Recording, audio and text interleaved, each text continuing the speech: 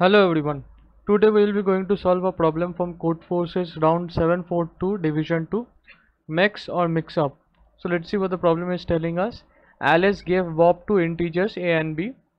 Being a curious boy, Bob wrote down an array of non-negative integers with MEX value of all elements equal to a and XOR value of all elements equals to b. So what is the shortest possible length of the arrow Bob write? So MEX means minimum excluded of an array is the minimum non-negative integer that does not belong to the array and XOR is the bitwise XOR of all the elements. So basically what the problem is telling is that they have given two elements the MEX value that is the minimum integer that does not belong to an array and the XOR value of all the elements.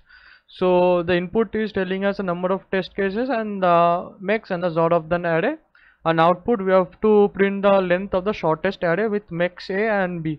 So let's go to the code and code it out and i will explain you how it is been done in the code only. So let's code it out.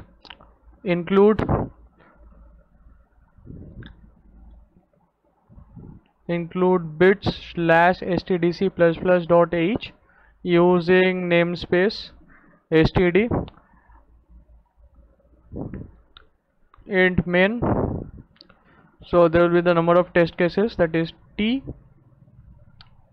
c in t while t minus minus and we will take two integers int a and b.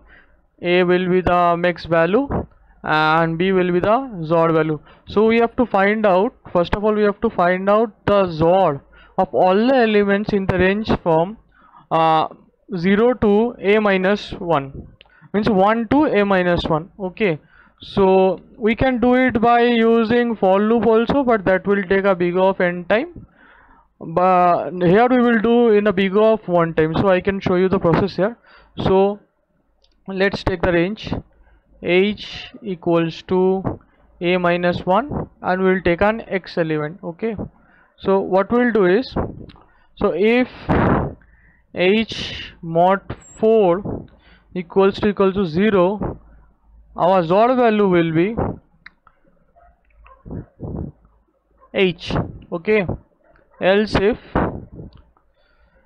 if h mod 4 equals to equals to 1 our XOR value will be 1 else if h mod 4 equals to equals to 2 our XOR value will be h plus 2 h plus 1 sorry. And else if if h mod 4 equals to equals to 3 our XOR value will be 0 so we have found the XOR of the elements from uh, 1 to a minus 1 now what we'll do we'll take another element and what we'll do the XOR value that we have found will XOR it with the XOR value of all the elements. So for that x XOR b okay? So we have now find the XOR of all the elements and the XOR of the a minus 1 elements okay? What we will do? We will see if y equals equals to 0 what we will do? The uh, they have told the length okay? So they have asked for the length so our length will be the max value. If if the XOR of the a minus uh, elements and the all the elements are 0 what we will do we will print a. That is the length of the uh, array. Okay. Else if y equals to equals to a means the max value that we, then we will print a plus 2 and l. Else if value is anything what we will do is cout a plus 1 we can add any value but here we will uh, simply add plus 1 and endl okay? And finally we'll return 0 so let's uh, take an example.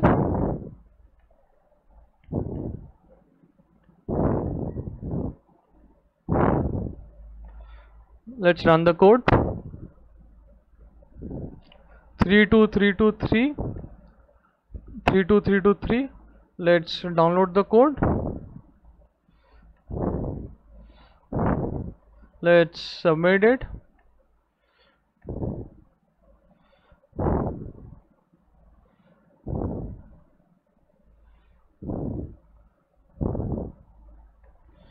Refresh it. It's accepted. Uh, it's working absolutely fine. And if you didn't understand the thing so you can go through it once again okay and if any problem just go through it once it is very easy okay. So thank you and we'll see you in the next video